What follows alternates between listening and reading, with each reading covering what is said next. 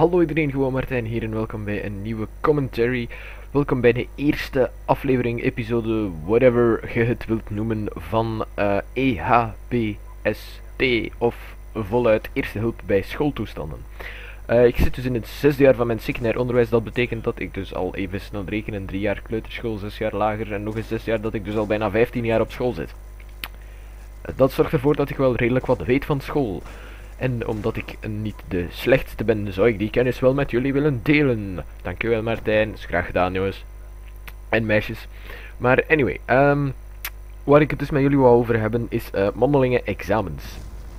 Want uh, ik weet niet juist hoe het in Nederland zit. Misschien kan iemand van jullie die uit Nederland komt mij dat eens uitleggen in de comments of zo, dat dat daarmee zit. Maar uh, in België is dus de gewoonte dat in het secundair vanaf het vijfde middelbaar, dus Allee, soms ook vroeger, maar bij ons op school is dat vanaf het vijfde middelbaar.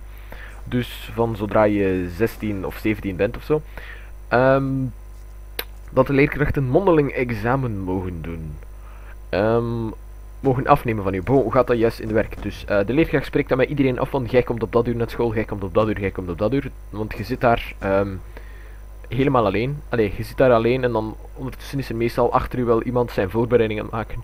Maar hoe gaat dat dus in de werk? Um, de leerkracht die komt naar u en die uh, zegt, allee, jij gaat naar de leerkracht, jij gaat naar binnen als je binnen moogt. En uh, dan zegt de leerkracht van, uh, Boon, jij moogt voor mij die vraag en die vraag oplossen.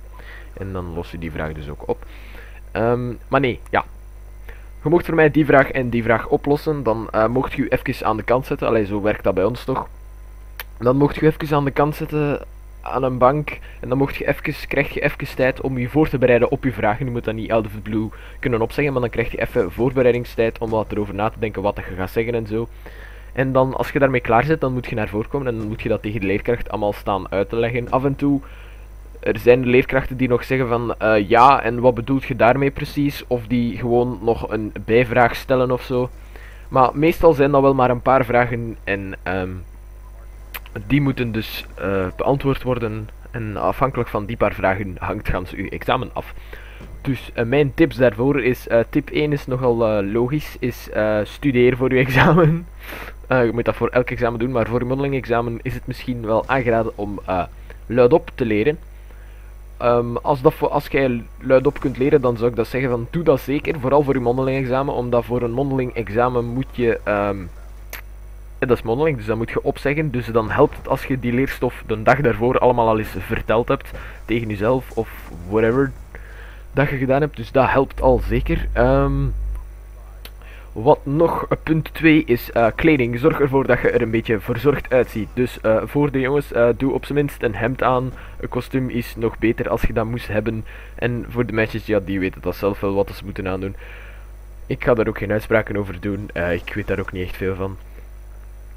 Um, wat dan nog is, uh, nummer 3 is um, flip niet. En wees niet super zenuwachtig. Ik bedoel, ik ben zelf ook redelijk zenuwachtig voor dat mondeling examen altijd. Maar um, savan nog, want dat gaat allemaal heel goed meevallen. Die leerkracht zit daar ook niet om u te kloten. Gewoon, die, die, die heeft ook liever dat jij een goed examen aflegt. Dus uh, chill, relax een beetje. Niet in eigen natuurlijk, want het is nog altijd een examen. Maar um, dat is nog iets. Um, nummer 4 zitten we ondertussen al. Is um, sla niet volledig dicht als de leerkracht u verbetert. Of als die leerkracht zegt van nee, dat is eigenlijk niet waar. Dus stel dat je nu iets aan het uitleggen bent. En halverwege uw uitleg, die je volledig perfect voor had bereid en op je blaadje geschreven. Zegt de leerkracht van eigenlijk klopt niet wat dat je aan het vertellen bent. Um, dan moet je niet volledig dicht slaan. Want er zijn mensen die dan bam volledig dicht slaan. Zo uh, mosselschelp dicht. En dan, krijgt, dan komt daar niks meer uit. Dus dan zit je wel met een probleem. Dat was erg vreemd. dat is dus wel... Um, probeer dat om niet te doen. Um, zeg dan van, ah oké, okay, uh, verontschuldig je allereerst dan. En um, wees ook eerlijk als je het niet weet dan. Dus als je, het, als je dan dacht van, als je toch aan het twijfelen waart tussen twee dingen, ja, begin dan de andere op te zeggen. Um, en misschien is dat wel juist. En als je zo de leerkracht ziet knikken of zo, dan mocht je voortgaan met je uitleg. Als ze zo wat raar naar u zit te kijken, dan is het best dat je misschien stopt met je uitleg en vraagt of dat je wel juist bent of zo. Um, want wat nog iets is, is um, iets wat eigenlijk geldt voor alle examens, is als je um, Bam, even een kleine rampage hier. Ik speel trouwens met de Remington shotgun-achtig iets. Um, ding is, maar um, punt 5 is het dan altijd, en dat is voor alle examens eigenlijk algemeen, uh, als je het niet weet, of uh, als je het niet weet, wees daar eerlijk over dat je het dan niet weet. Uh, misschien zegt de leerkracht als ze wel een sympathieke of een sympathieke is, dan zal die wel zeggen van ja, ik geef u dan een andere vraag op de helft van de punten of zo. Want ja, het is natuurlijk, je krijgt maar weinig vragen op een examen, dus dan zit je daar wel met de gebakken peren als je die twee vragen natuurlijk niet totaal, pardon, totaal niet weet. Um, punt 6 is het dan ondertussen al zeker of zoiets. Dat geldt voor alle examens en dat is het volgende. Um, als de opgave niet duidelijk is of zo, of je weet niet juist wat ze daarmee bedoelt of zo, of hij, um, vraag dat dan ook gewoon wat, wat die opgave betekent. Um, dat is altijd leuk voor u dan, dat je weet wat dat je moet doen en zo. En uh, wat nog, wat nog, wat nog. Geen idee hoe die mij kilde. Allee, um, hoe dat die niet doodging. Anyway, um, vraag het dan ook altijd dat je daar uh, geen verkeerde dingen zit op te schrijven of zo. Gewoon omdat je de opgave niet echt begrijpt. Maar lees je opgave ook altijd wel twee keer of zo. Want af en toe staan er dingen in waarvan je denkt van, ah ja, oké, dat is dat. En dan op een of andere manier is dat blijkbaar dan toch iets anders dat ze bedoelden. Dat je uiteindelijk niet gezien hebt of zo.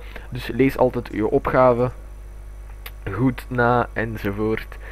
Um, wat kan ik dan nog zeggen is, um, ja eigenlijk dat is wel nog chill een mondeling examen, want ik doe um, normaal examen, dan zitten daar gelijk een halve dag of zo, dat je daar moet zitten en dan schrijven en dit en dat, en dan het einde de schrijfkramp en dit en dat, en dan zijn er een hele namiddag kwijt en nu ben mijn modeling examen, dat is gelijk, je af wanneer je moet komen, uh, je zit daar en dan gelijk een half uur later zit je daar terug buiten. En dan heb je nog uh, de rest van je namiddag of voormiddag. Als je in de voormiddag moet komen, vind ik altijd het leukste, want dan heb je nog een voormiddag en een namiddag voor het volgende vak of zo. Dus dat is altijd wel chill. Maar anyway, dat was dus mijn eerste episode van EHPST. Eerst wel bij schooltoestanden over de mondelinge examens. Um, voor België dan, want ik weet niet juist hoe het in Nederland zit. Uh, misschien wil iemand vanuit Nederland mij dat even toelichten in de comments of zo, dat dat zit, dan weet ik dat ook weer. En dan kan ik daar misschien volgende episodes rekening mee houden of zo. Maar anyway, dat was het zo'n beetje voor vandaag. Uh, even mijn score laten zien. Bam!